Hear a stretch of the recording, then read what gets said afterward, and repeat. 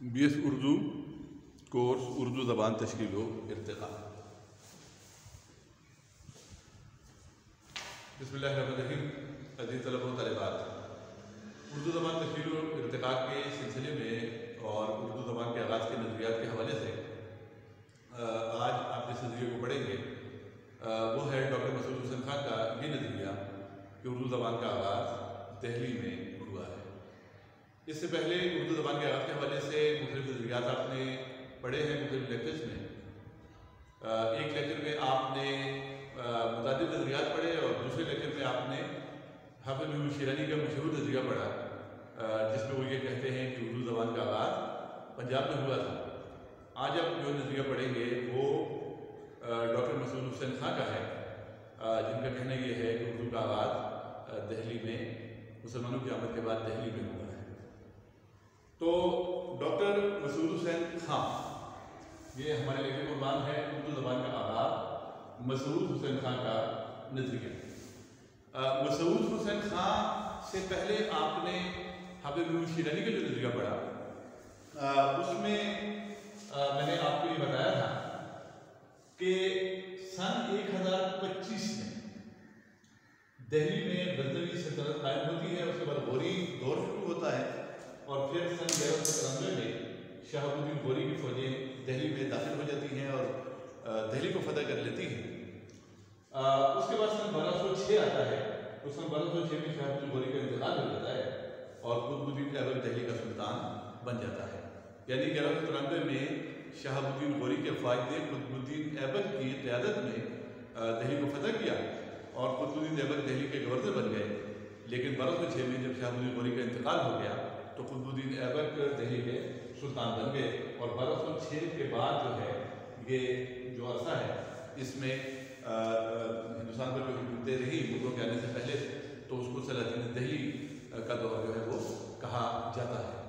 तो ये वाक़ात आप जहन में रखें और उसके बाद फिर आप इस काबिल होंगे कि आप हाफिज महमूद शिरानी के नज़रिए और मसूद हुसैन खान के नज़रिए को आपस में मुआवजा जो है वो कर सकें अब हम आते हैं इस पॉइंट की तरफ़ कि मसूद हुसैन खान ने जो नज़रिया पेश किया है, ये उन्होंने अपनी कौन सी किताब में पेश किया है? तो वो आप ये देखें, मुकदमा, तारीख़, दबानी उर्दू पी एच डी मकाला अलीगढ़ यूनिवर्सिटी उन्नीस सौ पैंतालीस। यानी मसूद हुसैन खान ने, डॉक्टर मसूद हुसैन खान ने अपना जो पी की तहरीर की उन्होंने, वो उन्होंने इसी मौजू पर की। और मुकदमा तारीख दबानी उर्दू के नाम से पी का मकाला लिख कर उन्होंने अलीगढ़ यूनिवर्सिटी में पेश किया और उन्नीस सौ पैंतालीस में पी की डिग्री हासिल की। उसके कुछ अर्से के बाद उन्होंने इसी मकाले को किताबी सूरत में उन्नीस सौ अड़तालीस में शाये किया और इस किताब में या इस मकाले में उन्होंने ये नज़रिया पेश किया है। अब हमने यहाँ चार इतबात दर्ज किए हैं मसूद हुसैन खान की इसी किताब के। और इन इतबात को मैं यहाँ अगर आपको नज़र आता है तो आप बोर्ड से भी पढ़ सकते हैं और मैं जबानी भी इसको पढ़कर सुनाता हूँ। पहला इतबात जो है, वो ये है कि मसूद हुसैन ये कहते हैं कि उर्दू का नुक़ आगाज़ ग्यारह सौ तिरानवे में मुसलमानों का दाखिल दहली है। यानी ग्यारह सौ तिरानवे में शाहबुद्दीन गौरी के फायद दिल्ली में दाखिल हुई। तो ये उर्दू ज़बान के बनने का जो है नुक़ आगाज़ है। यानी इसके बाद ये उर्दू ज़बान जो है वो दिल्ली में बनी है। दूसरा बात आप देखें कि कदीम उर्दू की तश्कील बरह रास्त दोबा की खड़ी, बोली और जमुना पार की हरियाणी के ज़रिए से हुई। मतलब यह है कि यहाँ उन्होंने ये कहा कि दुआबा की खड़ी, बोली और जमुना पार की हरियाणी यानी हरियाणी और खड़ी, बोली दो ज़बानें जो हैं, इनके ज़रिए सर इब्तदा में उर्दू की तश्कील हुई है। यानी मुसलमान अपने साथ अपनी ज़बानें फ़ारसी और तुर्की लेकर दहली पहुँचते हैं। और दहली की ज़बानें हरियाणी और ब्रज भाषा और खड़ी बोली से जब मुसलमानों की ज़बानों का इख्तलाफ होता है तो उसके नतीजे में एक नई ज़बान वजूद में आती है। तीसरा इकबास जो है उसको आप पढ़ें। कि ग्यारह सौ तिरानवे में बिलाखिर शहाबुद्दीन गोरी दिल्ली के आखिरी हिंदू सम्राट पृथ्वीराज को शिकस्त फाट देकर दिल्ली और अजमेर पर काबिज हो जाता है। जहाँ उसका सिफा सलार कुतुबुद्दीन ऐबक उसके इंतकाल के बाद बारह सौ में सल्तनत गुलामा की दावें डालता है। उर्दू की इब्तदा और इतफाक की असल तरीके के बाद ये शुरू होती है। चौथा इतबार देखें कदीम उर्दू की तश्कील हरियाणी के ज़रा से हुई है। इस पर रफ्ता रफ्ता खड़ी बोली का सवाल करते हैं और जब पंद्रहवीं सदी में आगरा दारुसल्तनत बन जाता है और कृषि भर्ती की तहरीक के साथ ब्रजभाषा आम मकबूल हो जाती है तो सलातीन दहली के अहल की शुदा जबान ब्रजी मुहावरे के ज़रिए दुरुस्त होती है। अब इस तीसरे इकतबास में तीन जबानों का नाम आया है, हम इस पर मजीद बात करेंगे। सबसे पहले नाम आया है हरियाणी का, उसके बाद नाम आया है खड़ी बोली का, और उसके बाद नाम आया है ब्रज भाषा। ये तीन जबानें हैं यानी मसूद हुसैन खान के नज़रिए का जो बिलुबाब ये हुआ, कि ग्यारह सौ तिरानवे में जब शहाबुद्दीन गौरी की अफवाज दिल्ली को फतह किया तो शहाबुद्दीन गौरी की अफवाज अपने साथ अपनी तुर्की, फारसी वगैरह जो अपनी ज़बानें थी, वो लेकर गई। और उनकी इन ज़बानों का जब दहली की ज़बान, यानी हरियाणी खड़ी बोली और ब्रजभाषा के साथ इख्तलाफ में मेलजोल हुआ तो उसके नतीजे में एक नई ज़बान की तश्कील का अमल जो है, वो शुरू हुआ।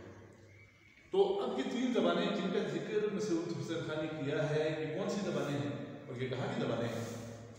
तो बात यह है कि यहाँ आप देखें ब्रजभाषा का नाम लिखा है, खड़ी बोली का नाम लिखा है हरियाणी का भी नाम लिखा है उसके साथ मजीद दो ज़बानों का नाम लिखा है, जो कि बुंदेली और कन्नूजी ये पाँच जबानों का एक सेट है, और इन पाँचों जबानों को मगरबी हिंदी या वेस्टर्न हिंदी कहा जाता है, और ये पाँच जबानें जो हैं, ये दहली और दहली के पूर्व जवार की जबानें यानी ब्रज जो है, ये ब्रज के इलाके की जबान है। जिस इलाके की, ब्रज भाषा जिसे कहते हैं और ब्रजी भी इसे कहते हैं, और जिस इलाके की ये जबान है, उस इलाके को ब्रज का इलाका या ब्रज भूमि कहा जाता है। ये आगरा और मथुरा वगैरह के जो इलाके हैं, उसे ब्रज भूमि या ब्रज कहा जाता है। और भाषा आगरे और मथुरे के अलावा यूपी के और राजस्थान के बाद इलाकों में भी बोली जाती है। तो ये ब्रज भाषा एक जबान है। खड़ी बोली जो है ये दिल्ली की जबान है और यूपी के बाद हिंदू की जबान है। ये जबान जो है इसमें देहाती भी कहा जाता है। यानी देहाती अंदाज की हिंदी या देहाती अंदाज की उर्दू आप इसको कह लें। तो ये भी दहली की जबान है। हरियाणा और दहली जो है आ, ये इलाके एक दूसरे के करीब हैं। हरियाणवी जो है या हरियाणवी जो है ये हरियाणा की जबान है और इसके अलावा बुंदेलखंड वगैरह की जबान है, वो बुंदेली है और कुल्लू के इलाके की जबान कुल्लूजी है। ये जो पाँच जबानें जिनमें से तीन जबानों का नाम मसूद हुसैन खान ने अपने मकाले में लिया है और उर्दू की तशील में उनका ज़िक्र किया है। तो ये तीन और दो और बुंदेली और उर्दू के पाँचों ज़बानें जो हैं, ये मगरबी हिंदी की ज़बानें हैं, वेस्टर्न हिंदी। और वेस्टर्न हिंदी जो है, ये आर्याई ज़बानों की एक शाख है। असल में हिंद आर्याई के जो एरियन ज़बानों के ख़ानदान है उसका एक जेली ग्रो जो है, या सब ग्रुप जो है, वो वस्ती हिंद आर्याई यानी सेंट्रल इंडो एरियन है और सेंट्रल इंडो एरियन या वस्ती हिंद आर्याई में मगरबी हिंदी आती है, जिसमें ये पाँच जबानें ब्रैक खड़ी हरियाणवी और गुंजरी और कुंजी शामिल हैं। इसके अलावा दूसरा ग्रुप जो है, उसको ईस्टर्न हिंदी या मशरक़ी हिंदी कहा जाता है, जिसमें अवधि और बाद दूसरी जबानें जो हैं, वो शामिल हैं। तो ये तीन जबानें दहली की जबानें हैं। इसको ये समझें कि ये दहली की ही जबानें हैं। और दहली इन तमाम जबानों का मरकज है। तो मशहूर हुसैन खान के कहने के मुताबिक दहली में जब मुसलमान दाखिल हुए, वो अपने साथ फारसी, तुर्की वगैरह ये जबकि ज़बानें लेकर मुसलमान अफवाज दाखिल हुई।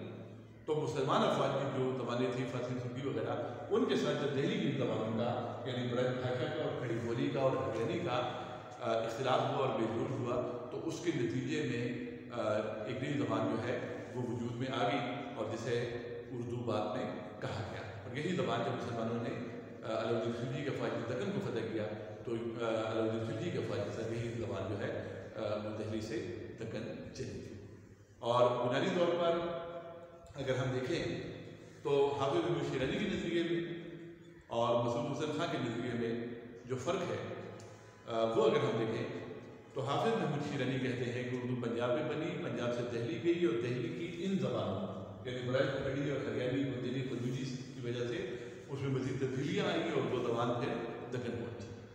यानी हाफिज शेरानी के नज़दीक पहली मंजिल या जाय पैदाइश की पंजाब है और दूसरी मंजिल दिल्ली है। जबकि मसूद हुसैन खान के नज़दीक उर्दू की जाय पैदाइश की पहली मंजिल जो है, वो पंजाब नहीं, पंजाब से मुसलमान कोई ज़बान लेकर नहीं आए थे।